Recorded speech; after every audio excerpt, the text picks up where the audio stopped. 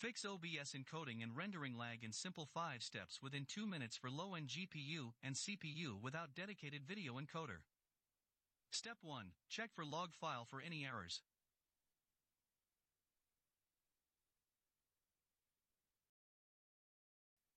Step 2. Locate core audio encoder for best audio output.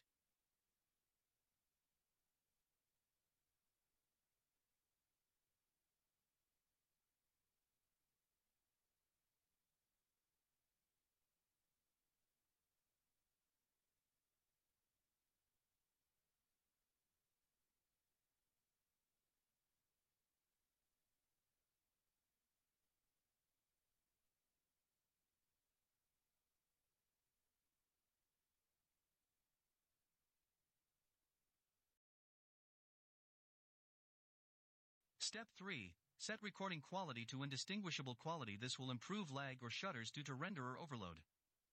Set recording format to MKV. Best for editing and recoverable in case OBS crashed. For encoder, use software, X264 low CPU usage preset, it will decrease encoding lag.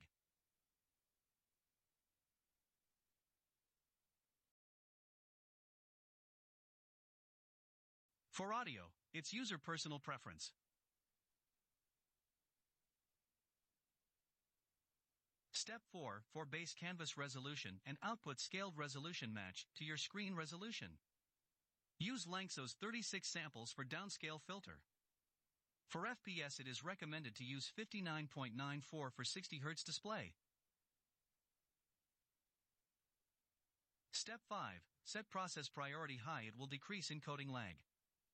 For renderer select D3D11 for better performance and low hardware impact. For color format choose NV12 better output color.